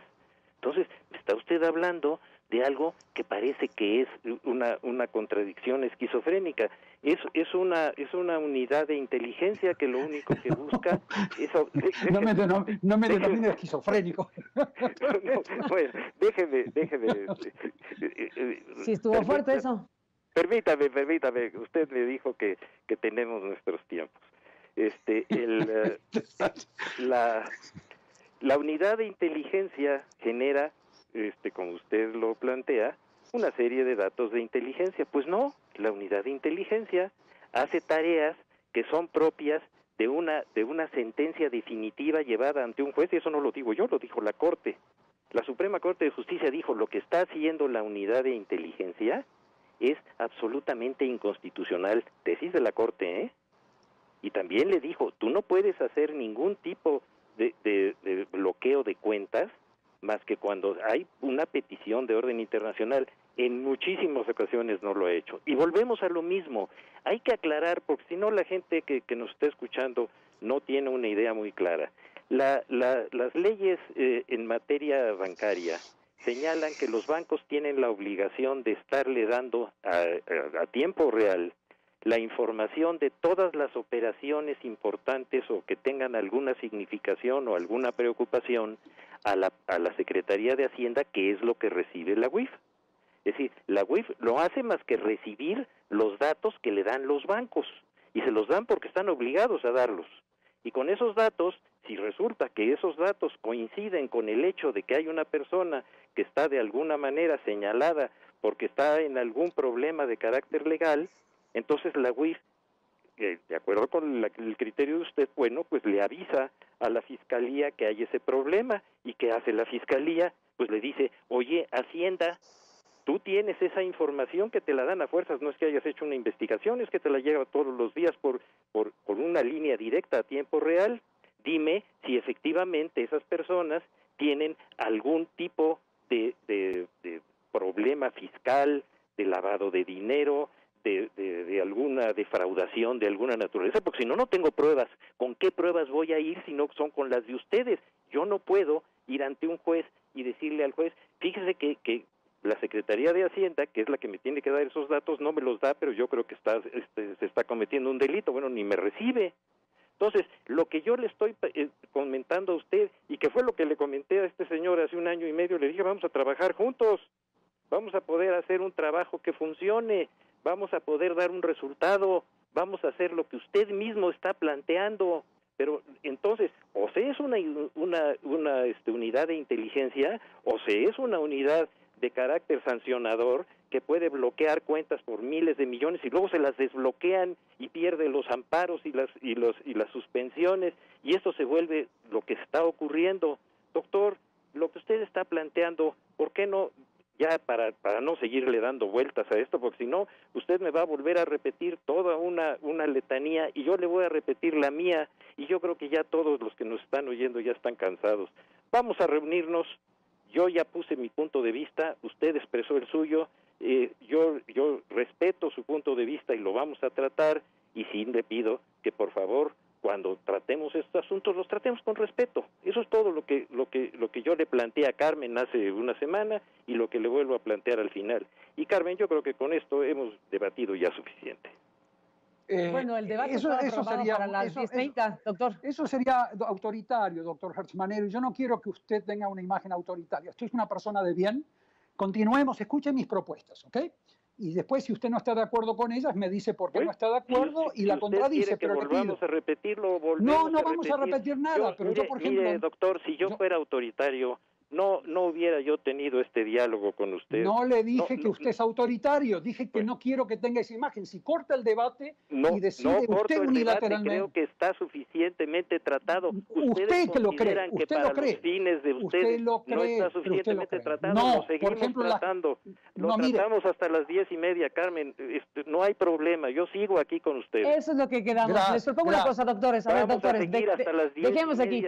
Y lo Sigamos el debate porque no creo que esté la gente cansada como usted dice, doctor Gertz, están diciendo cosas muy importantes. Es muy importante el ejercicio democrático de escuchar a un fiscal general de la República y, al doctor. Con mucho gusto y lo volvemos a repetir cuantas veces sea necesario. Buenísimo, buenísima noticia, doctor. a ver, doctor, doctor A ver, doctor Hertz, eh, yo no, dije antes que la facultad de bloqueo en la legislación mexicana, eh, la facultad de bloqueo de dineros que hace la UIF, esos miles de millones de pesos, está en el artículo 115 de su ley de instituciones de crédito. Y ellos tienen la facultad de bloquear. Pero esos bloqueos no es una decisión en un Estado de Derecho, es una agencia de inteligencia, como la CIA. Ustedes tienen que tomar esa denuncia con el bloqueo incluido, corroborar que la acción de la UIF no fue ilegal y después transformar ese bloqueo en un, en un aseguramiento. Aseguran ese mismo dinero y avanzan hacia el decomiso. A mí lo que me da enorme tristeza y un poco me frustra, no me enoja, pero me frustra, es que estos cortocircuitos entre usted y el doctor Nieto son un regalo de Navidad para el cartel de Jalisco. Son un regalo de Navidad para el cartel de... Usted lo pero es un regalo ¿eh? de Jalisco. No, no, no. Este problema viene siendo, estos conflictos los vienen teniendo, y yo no acá no estoy asignando culpa, desde hace mucho tiempo, antes de que yo haya hablado. Y le estoy dando números en comparación de los aseguramientos de ustedes y de los bloqueos de la UIF, que dan cuenta que los aseguramientos de ustedes han colapsado del 2018 al 2019 y yo solamente como científico quería saber por qué. Y me encontré no con que dan los elementos de prueba, señor, por eso. No, pero escúcheme, escúcheme, escúcheme. los elementos. Usted también pero, pero estoy hablando con mis cinco minutos. Son reglas. Usted es el fiscal, debería respetar estas reglas primero que yo. Entonces, estas son reglas que tenemos en este debate. Entonces le estoy diciendo, adelante, adelante. Este, este, este, es un problema gravísimo que tenemos porque este cortocircuito solo beneficia a la delincuencia organizada. Entonces le he propuesto un protocolo operativo para terminar con estos cortocircuitos, para que la UIF y otras ocho instituciones se incorpore a su mesa de trabajo en tiempo real para que sus líneas de investigaciones reflejen toda la información que por ley les deben dar estas nueve instituciones.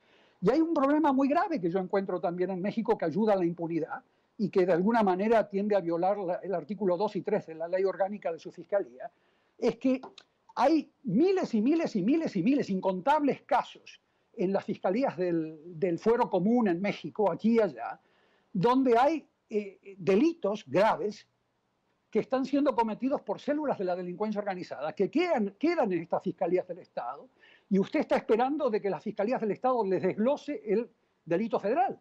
Y lo que tenemos que hacer, como en el caso de Lidia Cacho, es que cuando hay hechos denunciados en donde el cartel del Golfo está mandando sicarios a la casa de Lidia Cacho para asesinarla o para lo que sea, ella por suerte no estaba ahí, le matan a su mascota. Y después ese caso queda en la Fiscalía especializada para atender a los delitos contra periodistas cuando lo tendría que tener la CEIDO. Entonces, hay un problema grave en la atracción de causas, en la facultad que usted muy bien tiene, de acuerdo a la ley, de atraer causas, de asignarlas a una fiscalía mucho más poderosa como la subprocuraduría, la CEIDO. Y la CEIDO estoy viendo que disminuyó sus empleados de 6.200 hace un par de años a casi 1.000 ahora. Entonces yo quiero saber, y que usted me explique, por favor, cuál es la razón de ese colapsamiento en el número de personal de la CEIDO en un momento en donde la delincuencia organizada, de acuerdo a nuestros datos, continúa aumentando en todos sus tipos de delitos, del fuero común y del federal. Ahora, usted no tiene la culpa de que aumenten los delitos, o sea, usted no puede controlar los índices delictivos, usted es solamente un eslabón, el más importante, creo yo, del sistema de administración de justicia, no se lo puede culpar a usted por el aumento de los delitos, ni a su institución, a eso me refiero.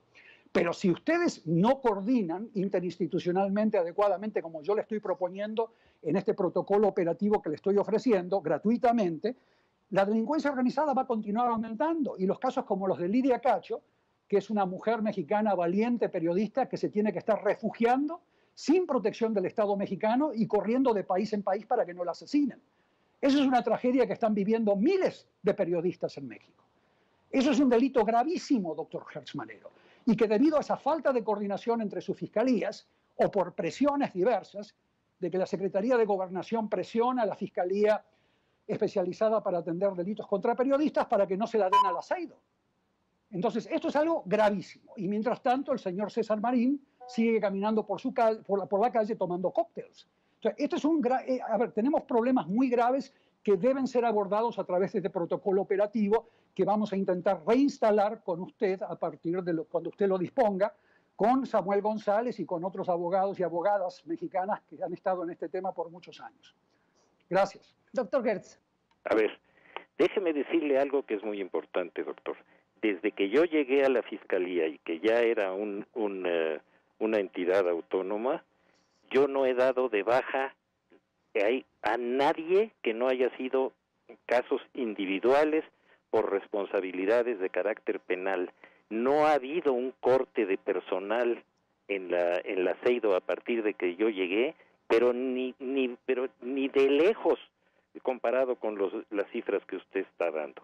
Yo le prometo y se lo voy a mandar a Carmen la información certificada de cuál es el número de servidores públicos que hay en la CEIDO. Cuando yo llegué, los que hemos dado de baja y consignado, que han sido casos muy relevantes de personas que estaban cometiendo delitos muy graves, de, sobre todo de, secuestro, y usted va a ver que esa, esos, esos números no corresponden absolutamente en nada con la administración que yo tengo a mi cargo. Así de que ese es el primer punto. El segundo punto, volvemos a lo mismo y si lo vamos a repetir, lo repetimos cuantas veces sea necesario. El que le hizo la oferta y le puso al personal y le, y le acondicionó unas oficinas especiales a la UIF para que pudiéramos trabajar en conjunto y que yo lo propuse fui yo y lo sabe el gobierno federal, lo saben en, en, en todos los, los ámbitos del gobierno federal que se pusieron a los fiscales que el señor Nieto propuso no funcionaron. Tercero, esta, esta propuesta que usted tiene de trabajar en conjunto, estoy diciendo que yo mismo se la propuse a este señor y que creo que debe de manejarse dentro del marco de lo que la misma legislación mexicana dijo que tenía que haber una distancia y una autonomía de, la, de lo que es el ejercicio de la acción penal y la función del Ministerio Público con el gobierno de la República. Eso no quiere decir que no podamos trabajar en conjunto, si no no hubiera yo no, no hubiera yo hecho esa oferta al señor Nieto y él hubiera puesto las personas que él designó. No, no, no, no se trata de eso. Se trata de establecer una, un, un buen un buen equipo de trabajo en el cual usted lo volvió a repetir y creo que hasta que termine esta, esta reunión lo vamos a seguir repitiendo. Yo no puedo, y el Ministerio Público y cada uno de los agentes que llevan las tareas de consignar y de, y de judicializar casos, no pueden hacerlo si las autoridades competentes no les entregan los elementos que van a llevar ante un juez de control para que los ratifique y los pueda presentar durante el proceso. Esos elementos, esas pruebas, todos esas, esos eh, eh, elementos, sobre todo de carácter pericial y técnico, solamente los puede dar la Secretaría de Hacienda, solamente. Nosotros no podemos hacer las funciones del SAT, no podemos intervenir en las tareas de investigación de carácter fiscal que hace la Procuraduría Fiscal. No podemos hacer las tareas y, tener la autoridad que tiene la Comisión Nacional Bancaria para obtener todos los elementos de prueba. Me los tiene que dar la Secretaría de Hacienda. No sé si esto quede claro, lo voy a repetir por los próximos minutos hasta que lo, tengamos suficientemente claro. Necesito que esas instituciones me den esa información con la, con la Procuraduría Fiscal la tengo perfecta, con el SAT, con la Comisión Nacional, con todos tengo perfecto. Ahora me dice usted que una, una institución de, de, inteligencia que obtiene información de inteligencia, la ley le da funciones para hacer ese tipo de, de, de aseguramientos o, o de, bloqueos de cuentas. Efectivamente, y ya la Corte dijo que esa conducta es ilegal y es anticonstitucional, no lo digo yo, lo dice la Suprema Corte de Justicia de la Nación, dice que eso no está bien, aunque lo diga un artículo, porque como usted sabe perfectamente, si una ley o un artículo es inconstitucional, los únicos que lo pueden decir son los, los miembros de la Suprema Corte de Justicia de la Nación y ellos ya lo dijeron. Entonces, estamos metidos en, un, en, una, en una rueda que vuelve a lo mismo. Usted me dice, ustedes no trabajan en conjunto. Le digo, pues si yo les propuse que trabajáramos en conjunto. Bueno, me dice, es que la unidad de inteligencia nada más hace funciones de inteligencia. Bueno, si hace funciones de inteligencia, le puede pedir a sus propias organizaciones en, en la que trabaja los elementos de prueba. No lo hace.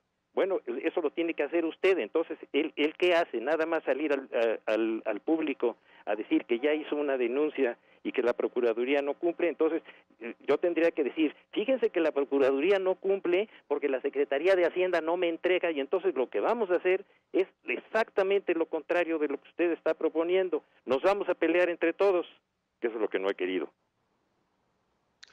Doctor Carmen.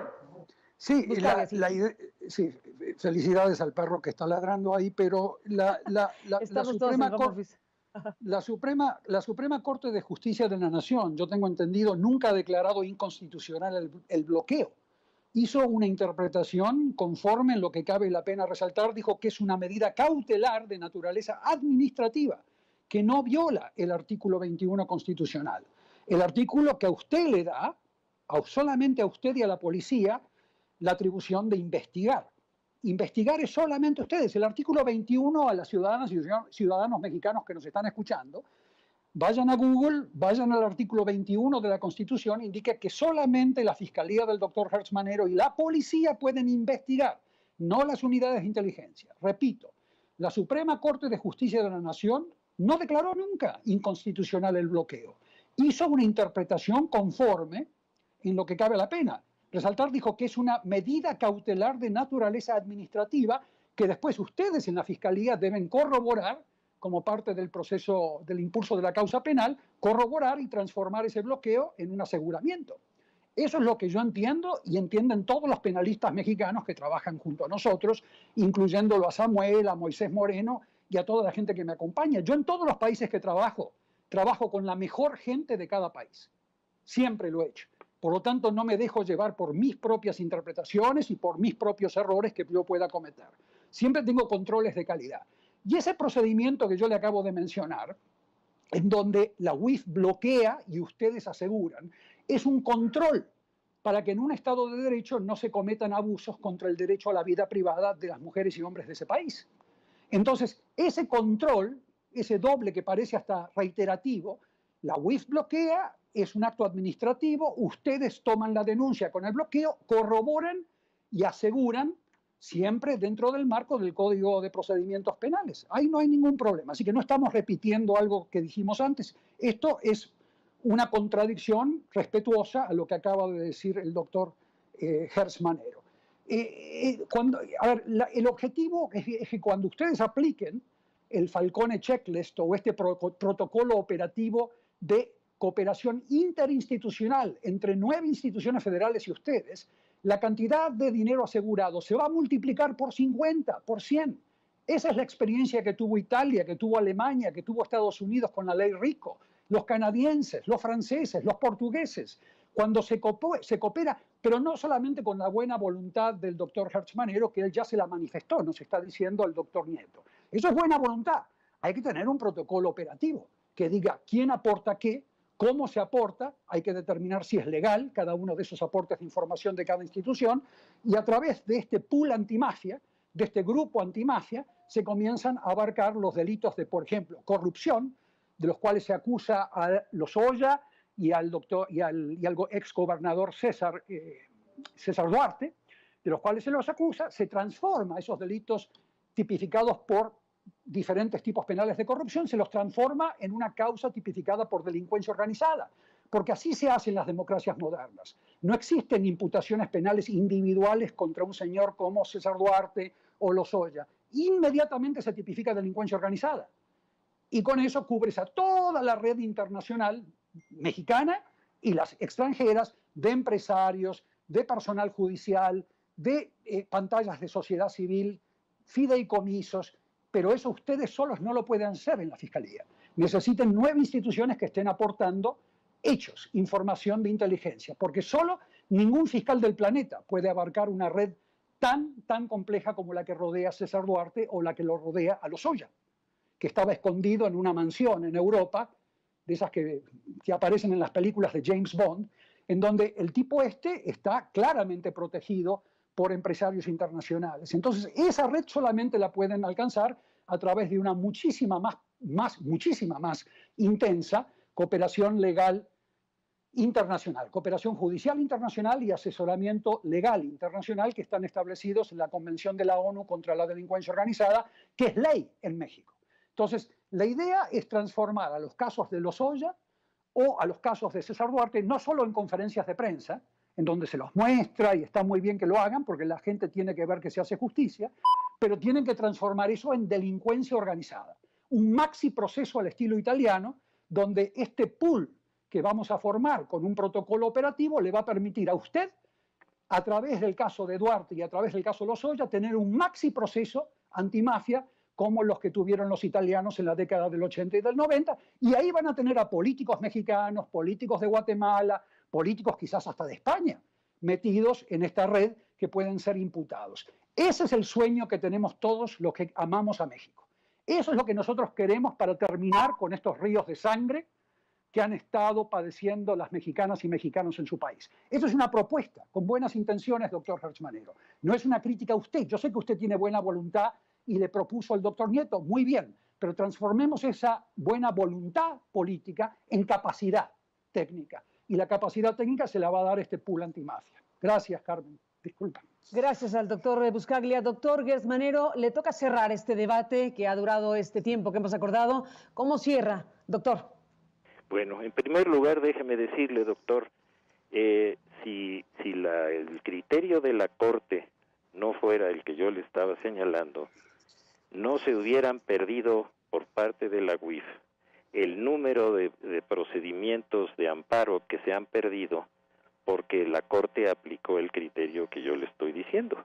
Entonces, eh, ahí hay una contradicción.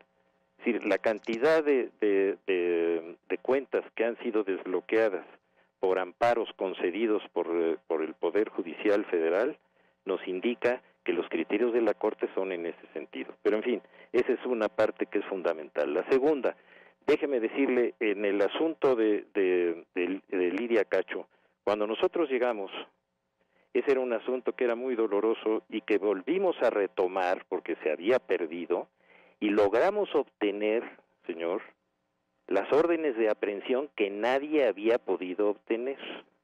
Y una vez que las obtuvimos, a uno de los de los delincuentes ya lo tenemos en el en la cárcel. El otro huyó al Líbano donde tenemos un proceso de extradición y el tercero, que es la persona que usted señaló, hemos hecho todas las gestiones y todas las, las audiencias y todas las, eh, las tareas que podamos hacer en un territorio en el que nosotros prácticamente tenemos muy poca capacidad de entrada por el número de, agentes que tenemos, pero hemos tratado de cumplir con ese caso de una manera constante y permanente si alguien ha hecho algo para renovar ese, ese, ese caso y, aplicar la justicia hemos sido nosotros. Es muy injusto decir que, que, nosotros no hemos cumplido con esa tarea. Eso, eso no es así.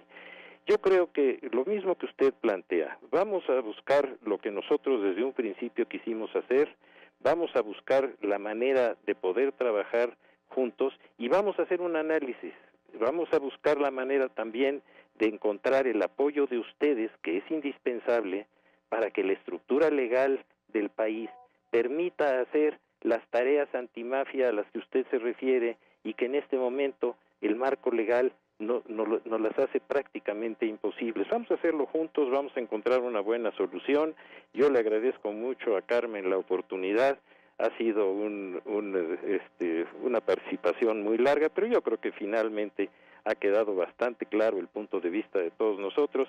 Y, y de nuevo mi agradecimiento, Carmelita. Muchas gracias. Gracias, doctor bueno, Gertz, doctor Buscaglia. Carmen, gracias, eh, Carmen, por el foro excepcional la oportunidad para hacer llegar todas estas propuestas. Aprecio mucho, doctor Hertzmanero, que se haya quedado hasta las diez y media y que podamos seguir debatiendo y discutiendo propuestas institucionales por el por el bien por el, no, por el, por el bien por el bien por el bien por el bien de México. Eh, nadie es nadie es esquizofrénico nadie es esquizofrénico todos queremos el bien de México. Felicidad felicidad. bueno pues a los dos gracias a los dos, gracias. Doctor Gertz Manero, gracias por estar aquí. Doctor Buscaglia, gracias por estar aquí. Ha sido un gran debate. Me parece que es una discusión del más alto nivel, respetuoso de asuntos cruciales para México. Y celebro, sinceramente celebro que cerremos el debate de esta manera. Entiendo que se encontrarán, entiendo que habrá una colaboración para que pues, los especialistas puedan colaborar con las instituciones y las instituciones estén abiertas también pues, a estas posibilidades para que el eh, modelo eh, mexicano, la realidad eh, eh, eh de, la institución mexicana pues se pueda operar de la mejor manera posible. Hay una gran expectativa en México, usted lo sabe, doctor Gertz, usted lo sabe, doctor Buscaglia, hay en México una necesidad, un imperativo de que las instituciones de justicia, desde luego, funcionen a la altura de lo que México está necesitando desde hace muchos años. Así que celebro el debate, celebro la reunión y celebro que esto va a continuar entre ustedes para que esto pues se repercuta en el bien de México que de eso se trata todo. Gracias, doctor Gertz, de nuevo, y gracias, doctor Buscalia. A los dos, gracias por estar aquí esta mañana. Y pues esto fue lo que pudimos presentar esta mañana en un ejercicio, pues sí, propio de las democracias. Y esto hay que hacerlo muy seguido, los debates, los ejercicios de discusión pública, eh, escuchar a partes que pueden estar confrontadas en temas centrales, pero que tienen derecho a expresarse tanto uno como el otro, tanto unas como las otras. Eh, es decir, este es un ejercicio eh, que debe ser muy amplio, muy robusto que debe poner por encima de los ejercicios em, pues descalificadores eh, la posibilidad de llegar a un punto de coincidencias y al final de cuentas de lo que se trata es efectivamente de que México tome la mejor ruta posible con instituciones nuevas, en este caso una Fiscalía General de la República que es autónoma, y bueno, pues ya veremos qué va sucediendo en el camino. Les iremos preguntando a nuestros dos invitados, eh, pues eh, cómo aterrizaron finalmente la posibilidad de, encontrar puntos de comunicación para que esto se repercuta en las tareas antimafia en México, anticorrupción en México, antidelincuencia organizada en México y todo de lo que este país necesita urgentemente. Así que bueno, pues gracias al público que siguió este debate esta mañana de viernes. No nos despedimos porque tenemos todavía un tramo de programa y hemos eh, acordado tanto con Ana Lilia Pérez Mendoza como con Fabricio Mejía, eh, que normalmente están los viernes a esta hora. Bueno, escucharlos en unos momentos más. Vamos a escuchar eh, cómo vieron el debate, qué les pareció el debate y volvemos con ustedes. Gracias de nuevo a los dos participantes.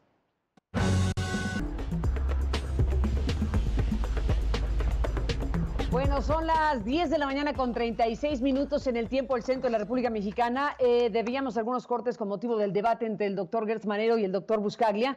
Deme un momentito nada más rapidísimo. Eh, le presentamos este, este em, corte de este corte de, de, anuncios, estos anuncios, este corte. Y bueno, estaremos con Ana Lilia y con Fabricio en un momento más para ver cómo vieron el debate eh, bueno, al final de cuentas estamos aquí hablando de la necesidad de una coordinación institucional entre la Unión de Inteligencia Financiera, entre la Fiscalía General de la República, entre la Fiscalía eh, Anticorrupción, entre todas las instancias del Estado mexicano que deben estar absolutamente haciendo lo que les toca, haciendo lo que les corresponde, pues en momentos como los que estamos viviendo y los que estimo podríamos vivir próximamente si es que se cumple la expectativa de los casos fuertes que están en camino, eh, como el de Lozoya o el de César Duarte o el caso Ayotzinapa, por supuesto, y los demás asuntos que México tiene pendientes y que eso tendrá que cursar pues precisamente por el trabajo de las instituciones, por la vigilancia permanente de la sociedad mexicana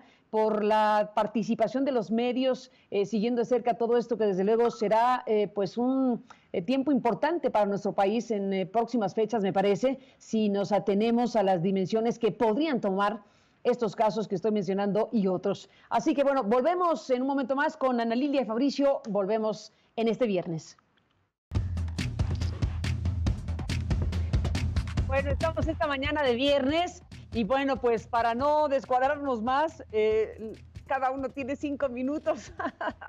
Ana Lilia, Ana Lilia y Fabricio, pues se nos acabó el tiempo, pero no quisimos dejar de escucharlos. Y bueno, entendemos que estuvieron siguiendo el debate eh, entre el doctor Gertz Manero y el doctor Buscalia. ¿Cómo lo viste, Ana Lilia?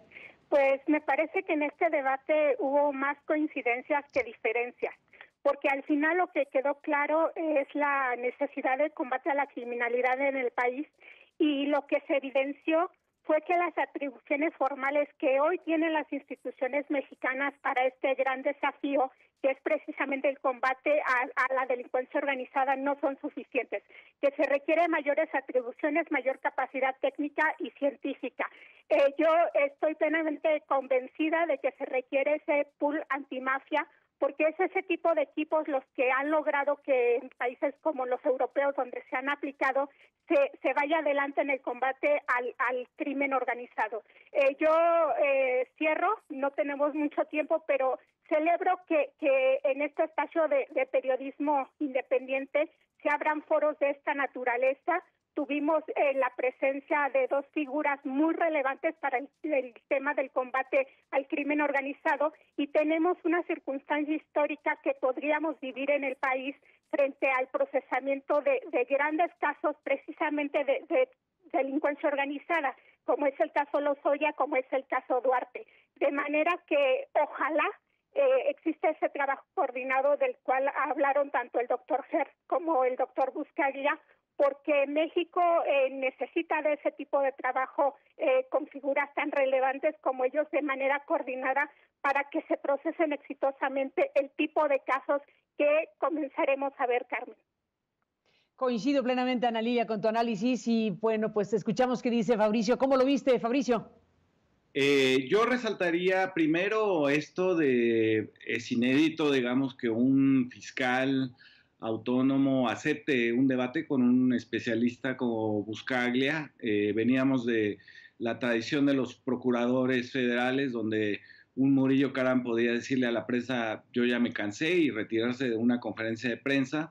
Eh, y ahora pues, acepta un debate. Me parece que es lo mismo que estamos viendo en este cambio de muchas cosas en el país, eh, lo que hemos visto con eh, la Suprema Corte, con Arturo Saldívar, que también sale a la prensa a decir, eh, con los propios militares que están ahí siempre en las mañaneras explicando, dando información, etcétera. Y me pareció un debate que efectivamente revela pues todos los la problemática que hay de una fiscalía autónoma, eh, que depende de decisiones de la Suprema Corte, de una eh, unidad de inteligencia financiera eh, muy activa, también muy, digamos, informadora de, las cosas que hace. Y me, pareció, perdón, me pareció un, un, buen debate que abona, digamos, a una nueva realidad que es que la ciudadanía estamos esperando, pues sí, saber también qué competencias tiene cada uno, pero eh, sin, querer meternos al, asunto legal, lo que esperamos son los resultados justo en este momento, Carmen, Ana Lilia, auditorio, en que eh, parece ser que lo de Lozoya, lo de César Duarte, se va encaminando, digamos, a lo que hemos estado pidiendo a gritos en este programa, que son los maxiprocesos eh, eh, antimafia, ¿no? Ni más ni menos, pues eh, frente a esto estamos y pues eh, les agradezco a los dos que en estos minutos den su opinión, su análisis, que es muy importante. La valoración de un ejercicio de debate como este en voz de ustedes es muy relevante y les aprecio a los dos que estén aquí. Seguiremos hablando como siempre. Fabricio, un abrazo y buenos días. Un abrazo, Carmen. Gracias, Ana Lilia, por estar aquí. Un abrazo. Buen día, Carmen. Saludos a toda la audiencia. Gracias a los dos por estar aquí esta mañana. Y bueno, pues entramos en esta recta del programa de viernes. Eh, ya tendremos oportunidad de, bueno, pues seguir analizando el alcance, el contenido del debate, pero el ejercicio mismo, pues es un eh, ejercicio valioso eh, que deberemos fomentar más para una sociedad más informada, para una sociedad que esté alimentando su punto de vista con debates respetuosos, de alto nivel, de contraste y que ofrezcan información y, bueno, pues todo lo que son los desafíos los desafíos que están aquí delineados en una discusión como esta respecto al trabajo y a la tarea y a la función de instituciones clave. Eh, siempre, pero en un momento como este, mm, pues con mayor razón, que es la Fiscalía General de la República, la Unidad de Inteligencia Financiera, la Fiscalía Anticorrupción, los, los entes encargados del Estado mexicano precisamente para esta tarea. Así que gracias de nuevo por el debate.